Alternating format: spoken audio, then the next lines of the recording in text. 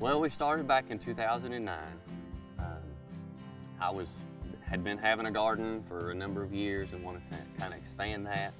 And I decided to try raspberry plants when I saw them at Lowe's one day. And like, you know, I love these things. I'm gonna put one out. And I put it out, put a blackberry plant out, and just kind of started playing with it and uh, enjoyed it. And I thought, well, you know, I've never heard of anybody in this area growing these. So I decided, well, let's look into it. And I, I found some distributors up north who sell high quality plants, and I bought a few and put a few of them out. Uh, started playing with those a little bit, learning every single day something different about them. And then as it just it, as I kept going with it, I decided, well, let's expand a little bit more. And that's about the same time that I talked to a friend of mine who had been selling at the farmers market for quite a quite a long time, and he kind of talked me into selling the berries at the market and expanding from there. So how many raspberry plants do you have now? Uh, it's actually hard to say on the raspberry plants because you buy them and they're in a rootstock, and then after that they just kind of grow and form a long hedgerow. So right now, uh, I probably have, I'm gonna say about 300 feet of raspberries. So that's that is enough to keep you busy. Yes, yes it is. because you have to pick them every two to three days ideally. And so Great Berries Farms, you guys have more than just raspberries though, right? Yes, we've got a few blueberry plants, some blackberries, and strawberries in the raspberries. Where do you sell all your berries?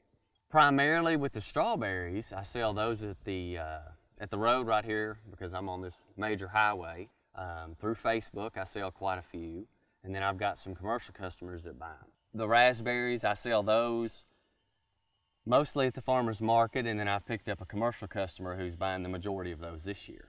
Well, Michael, I know that, that your wife is in extension. You, you have three kids, you have a, another public job. Why do you do this? Well, I grew up on a farm, and my dad's best friend always talked about the tobacco and how it gets in your blood.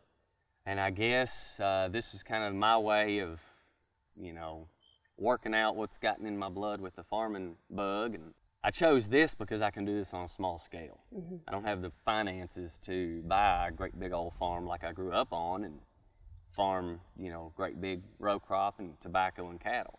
So I thought, well, since I'm expanding my garden, expanding the berries, let's just focus on that. And then you guys have a roadside stand when things are, you know, available right yes, here at the do. house. Yeah, I bought a trailer, a pop-up trailer, and it has shelves on it. It just works out real well to go out there, and I can lay everything out, and then I can put a sign up at the road and tell them what we have on on hand. My phone number's on the sign out there, so if they want to give me a call, they can give me a call. Today we're featuring berries, and there are so many varieties of berries grown in South Central Kentucky. And today we're showing you a Kentucky Proud plated up Very Berry Salsa. The name alone is super fun, and just with that kind of a title, you know it's going to be a spectacular dish. So there are very few ingredients in this recipe, and those are the recipes that I just love the most. We're using blackberries, we're using strawberries, blueberries, and this month's specialty crop is raspberry. So of course we have to include those.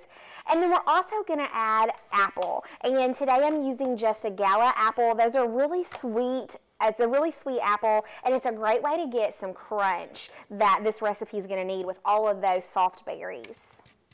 You're going to use about one cup of each berry variety and then about three or four so cups of the apple. So you want to make sure that they are diced evenly, but um, but to the size that you could put them on a cracker or a chip.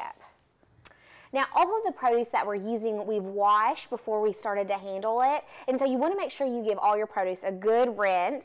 And now we're going to do the easy part and the oh so colorful part. We're going to start with those apples that we've diced up.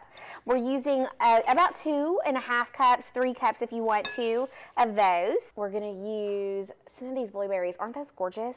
Mm -hmm. I love blueberries. Let's put those in. And strawberries. You'll notice all of, all of the strawberries and the apples and all the berries are about the same size. And then blackberries and raspberries, this month's specialty featured item. Raspberries are so tender, and so once you put these in, you want to be a little careful with stirring or combining the ingredients, just because you don't want them to completely break apart for the topping to sweeten these sweet berries up just a little bit more, we're going to use a strawberry preserve. And we want about just a tablespoon and a tablespoon of brown sugar. And we'll take a whisk and let's combine all of those ingredients together. This is the really good part.